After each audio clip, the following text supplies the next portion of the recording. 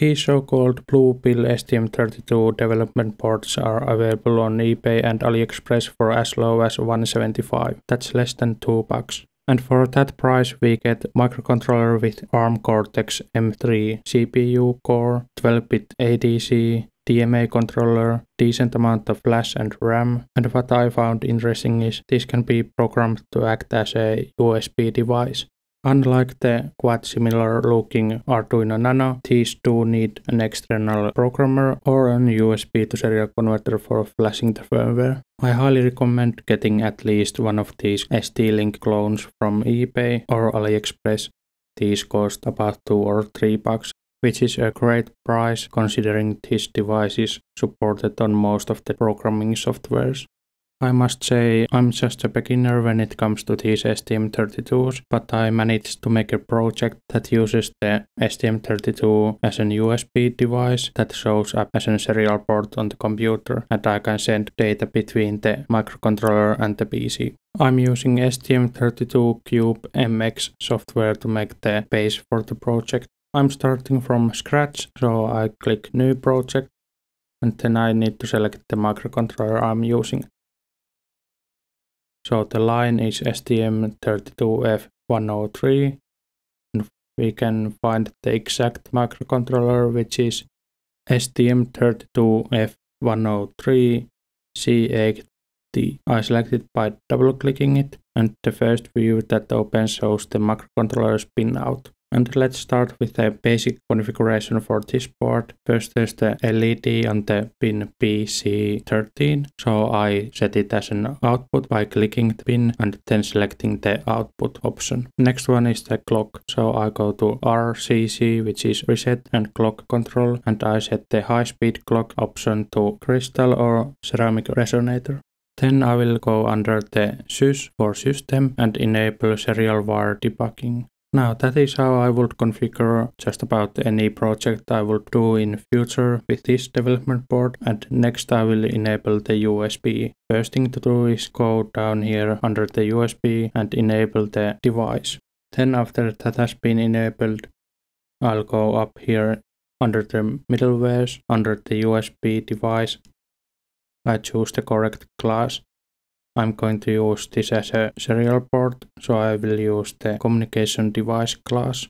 After I've selected that, that's all for the peripherals. I don't need to enable anything else. Next I will go to clock configuration tab and there it will automatically say that the clocks haven't been configured correctly and it is saying those can be fixed automatically and I will click yes and the problems have been fixed. Then I go to configuration tab. I'm doing one optional thing and that is setting the default state of the pin where the LED has been connected. So I select the GPIO and there I select the PC13 and set the output level to high. This is because these ports have the LED connected so that it will shine when the GPIO pin is low and I prefer LEDs being off by default. Now everything has been configured and I'm ready to generate the code. But first let's go to project settings and change the toolchain slash IDE to SW for STM32 which is the system workbench for STM32 which is the IDE I'm using. Then I give some kind of name for this project, for example USB serial test and check that the project location is correct and hit OK. Then I can go to project generate code. The code has been generated and I can click open project to open that generated project on the system workbench for STM32. All the necessary files have been generated, but there's one problem. This project won't compile correctly it gives error while compiling and that is because of some characters not being escaped correctly or something like that. By googling the problem I've seen that many other users have had the same error and I hope this will be fixed in some future versions of STM32 Cube MX but for now I can fix this on properties of this project by going to c slash c++ build and their settings and there under the compiler there's symbols. Select that and delete the two entries which have underscores in them. This is a quick fix which makes the project compile and work properly. If the project compiles correctly without doing this, don't delete these entries. It's not necessary. But in my case they were causing problems, I removed them and now the project compiles without any errors. So that is good and it's time to write some code that will receive data from the computer using the virtual serial port which I created by just making few clicks on the STM32Cube MX software. There's an existing function in the file usbd underscore cdc underscore if.c which will handle the data coming from the computer to the STM32 and on the right panel I select the function. The function is cdc underscore receive underscore fs. I click that and the code editor will jump to that function's definition. And as we can see on the comment, the brief of this function is data received over a USB out endpoint are sent over CDC interface through this function. Yep, that's the function we want. This function will be called when there's data available and the buff is the buffer that includes the data that has been received and len is the length of the is the length of the data. So how much there's data available I'll write a simple if statement that will compare the first character on the buffer and if it is 1 turn on the LED and if it is 0 turn off the LED. GPIO will be controlled using HAL underscore GPIO underscore and I think it is right but to be sure I'm using code completion by pressing control and space and I'm using that for arguments as well. So first one is the port GPIO-C and next next one is the pin GPIO underscore pin underscore 13 and then the state.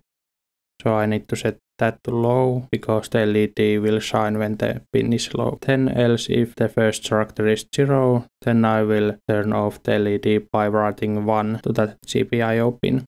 This is quite crude example. I'm only checking the first character on the buffer. So if I'm getting random data from the serial port, the LED might turn on and off if there's 0 and 1 as a first character. But that's okay as I'm just trying to confirm that the communication is working. So now there's the if statement. I can build this project. And that is a success build has been finished without errors. Then I need to configure the programming or debugging interface. I will go to run configuration, double click the AC6 STM32 debugging to create a new configuration. And then instead of doing what I'm doing on the screen right now, you can close this run configuration window and double click the USB serial test.cfg file on the project explorer to open the script file like this. In my computer, it was opened in Notepad++. And on the last line, there's reset underscore config line. And I modified to be reset underscore config space trst underscore only. Nothing else on that line. Then I save that file and click run. If you close the run configuration window, press the green and white play button on top of the IDE. The program gets flashed on the microcontroller on the device manager. First I have COM1 and LPT1. If I then unplug and plug the STM32's micro USB, there will be USB serial device COM4, which I will next test with serial terminal. I'm using PuTTY, but you might be using something else. Main thing is to select COM4 as it was in the device manager and the baud rate can be just about anything. If I select 9600, it will work. If I select 115200, it will also work. It doesn't matter what it is. Now I press 1 and 0 buttons on my keyboard and the LED lights up on button 1 and turns off with button 0. So that works. But the communication is still going only on one direction from computer to microcontroller and next I will add something else inside the if statement instead of just turning the LED on and off. I will print something on the serial port and for that there's cdc underscore transmit underscore fs and it has arguments buff and len which are the buffer and length of the buffer just like with this receive function. So to transmit something, let's first create the buffer, which I will call data, and it will include text receive. Now let's call it LED on.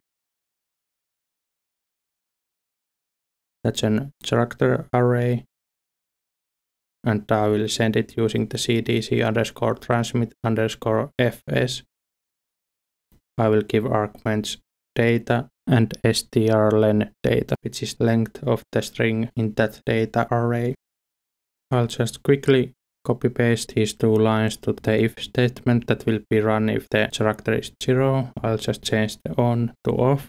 Then I will build the project to see if there is any obvious errors, but no there isn't. Then I will flash the firmware to the STM32.